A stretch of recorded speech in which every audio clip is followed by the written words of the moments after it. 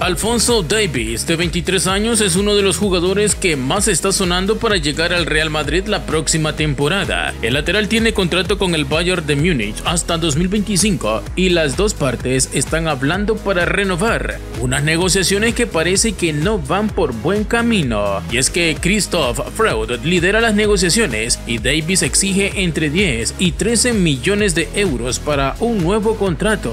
Pero el Bayern no quiere pagarle ese dinero por ese monto. Internamente no están del todo satisfechos con el rendimiento de Davis en las últimas semanas y en meses, ni con su desarrollo futuro. Y es que Davis tiene que mejorar si quiere conseguir el dinero que exige actualmente. El Real Madrid por su parte está muy atento a todo lo que pueda estar pasando entre Davis y el Bayern de Múnich el club blanco quiere ficharlo este verano para ser el nuevo lateral izquierdo del equipo merengue.